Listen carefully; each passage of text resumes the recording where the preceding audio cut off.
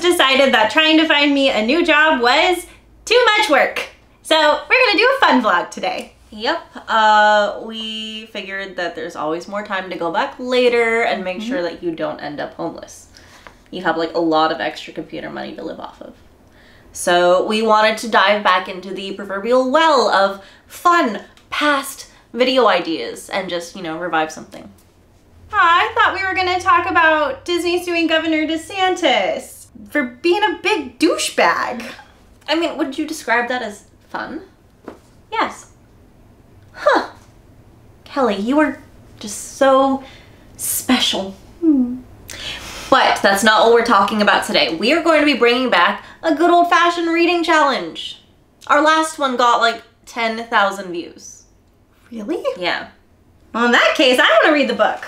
Okay, so for those of you who've never seen one before, and for Kelly who hasn't been here in a while, here's what's gonna happen. I'm gonna give her a copy of All About Love by Bell Hooks. Super important feminist text, but you're not gonna be able to understand what chapter she's reading from because I will be covering her mouth. Your job is going to be to guess what chapter it is.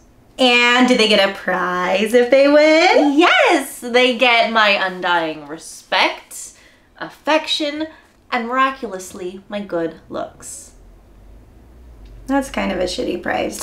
Just start reading.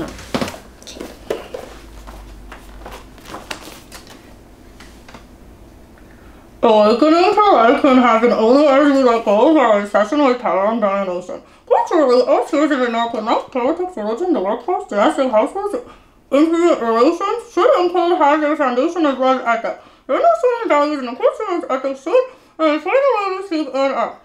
At least, as it presupposes that everyone has the right to be sure Good to job. their Shut soul up. Shut up. Shut up. We did it. Jesus, you drool more than a Saint Bernard. My dentist says the same thing. Nasty.